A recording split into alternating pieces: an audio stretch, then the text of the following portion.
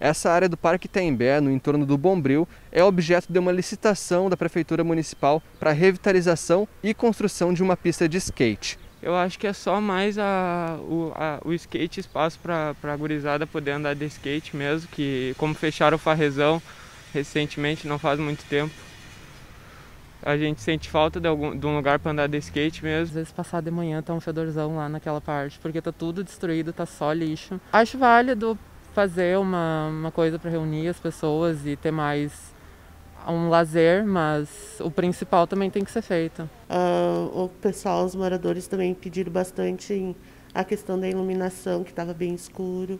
Aí agora foi feita a, uma melhora na iluminação mas ainda acho assim muito muito abandonado. Eu acho que ainda falta assim bastante uma, uma essa parte de, de lazer, umas melhorias, as quadras mesmo de basquete. A ordem de serviço deve ser assinada ainda em fevereiro e com isso, até metade de 2021, o serviço deve estar completo.